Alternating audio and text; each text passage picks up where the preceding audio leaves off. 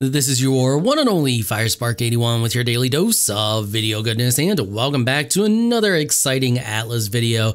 I'm joined today by GG Fizz and we are going to test the best sail configuration for the fastest schooner. Let's get to it. So in this first matchup, we have one large speed sail versus two small speed sails with a medium.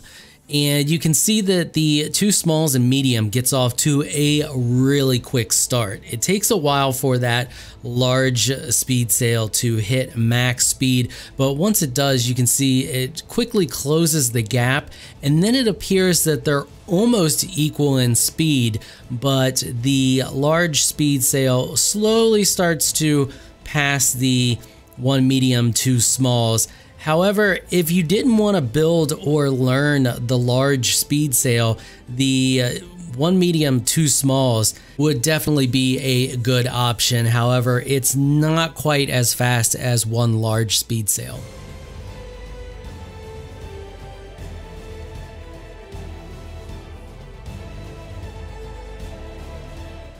Next up, we have two medium speed sails versus one large speed sail. And as you may have guessed, the two mediums gets off to a really quick start.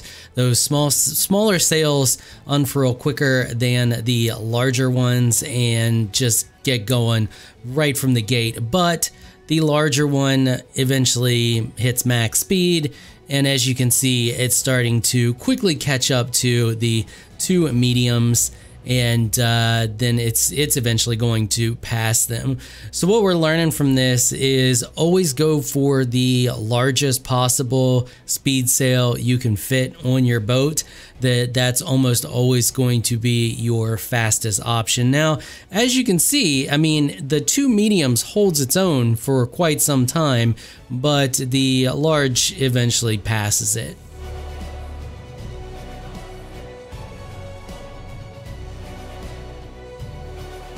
And there you go. You can see now that it has actually started to gain some ground.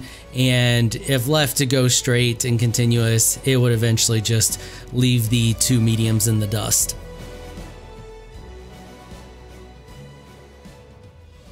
In this next matchup, we have four small speed sails and one large speed sail.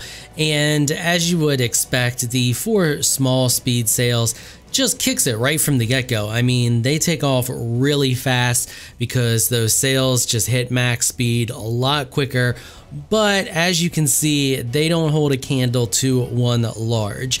So that tells us a lot there. That tells us that for small speed sails is not equal to the percentage of speed that a large speed sail gives you by far. So I don't know what the exact numbers are, but like this is ridiculous. I mean, look how quickly it catches up and then passes it.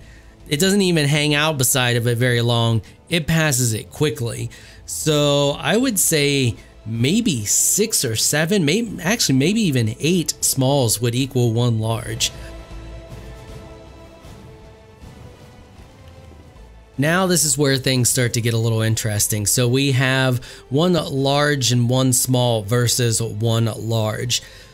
It kicks off really fast, much faster than the single large.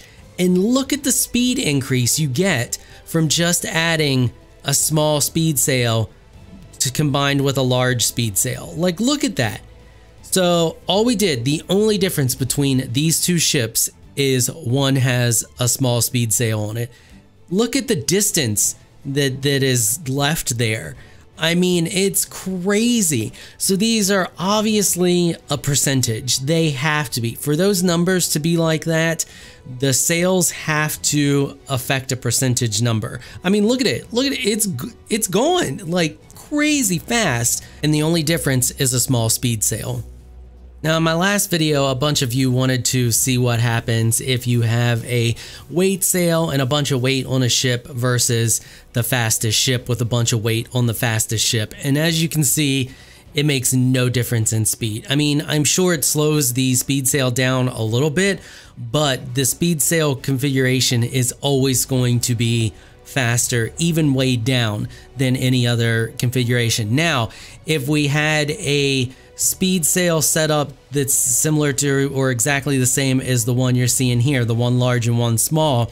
And we had one weighed down and we had one not weighed down. Obviously, the one that is not weighed down is going to be faster than the one that's weighed down. But when you talk about using different types of sails, for example, what I'm showing you here with the uh, large weight sail, it doesn't make any difference. Look, I just looped it with a bunch of weight. It's almost uh, three fourths of its its weight on the ship, and it's still able to loop and pass the large speed sail.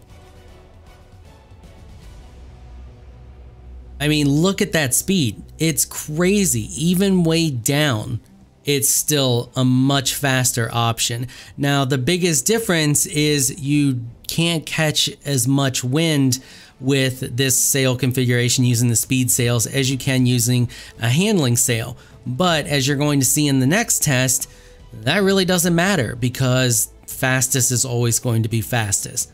So in my previous video, many of you requested that you wanted to uh, see uh, the ships sailing against the wind. So that's what you're seeing here. You are seeing one medium and two small speed sails versus one large. And as you can see, it's pretty much the same situation.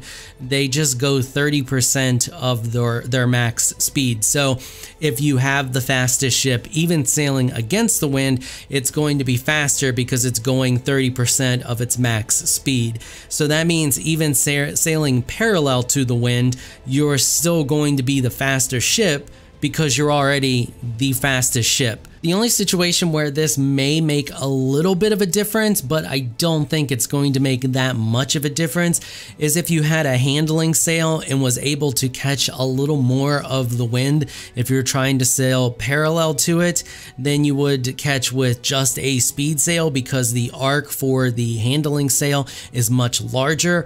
However, you can get blueprints for speed sails with larger arcs. Even then though, I don't think it would make too much difference As you see here in this next clip, we have the one at large uh, with one small, which was already deemed the fastest ship versus the one large. And it's pretty much the exact same situation. It's quick off the gate and it just continues with a max amount of speed. I even slow it down a little bit to give Fizz a chance to catch up to me. And then I just speed it back up just to just toying with him. So even if we were sailing parallel to the wind, my ship would still be way faster than his. So before we wrap up this episode, I just want to give a huge thank you to GG Fizz for helping me test this stuff. If you all want to see more Atlas shenanigans like this, uh, you can hop over there to his Twitch channel. He streams almost daily. I will put a link to it in the description, so be sure to go over there and check that out. All right, that is going to wrap it up for this episode. If you like what you saw, consider hitting that sub button. I want to give a big thank you to my patrons for making this episode possible. You all are absolutely amazing people. If you would like to join my elite crew of Patreon supporters, please check out the link in the description below. If you enjoyed this video, please leave a comment down below. Let me know what you thought. If you're shy, you don't like to comment, just hit that thumbs up button and show your support. Until next time, thanks for watching.